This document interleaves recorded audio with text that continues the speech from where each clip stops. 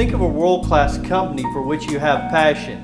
How absurd is the notion of some of their employees just doing their job versus going above and beyond providing their discretionary effort?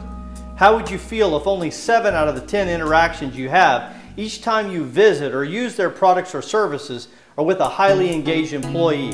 How about only 6 or 5 out of 10? Would you really expect them to be world class? Unfortunately, very few organizations in the world have more than 6 to 7 out of 10 employees that are fully engaged. Normally, it's the opposite.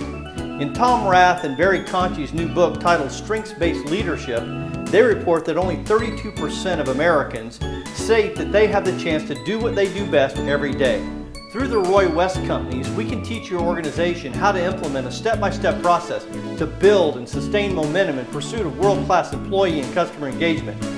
It is the passionate associate and passionate customer and their associated engagement that most strongly correlates with your organization's ability to sustain your growth and increase your margins and drive your earnings per share.